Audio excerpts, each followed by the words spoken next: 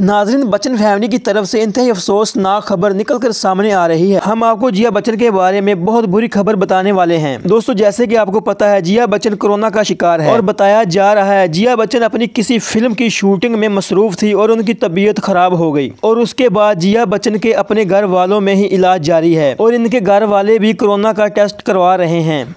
इसके अलावा जिया बच्चन के बारे में एक और बुरी खबर सामने आ रही है।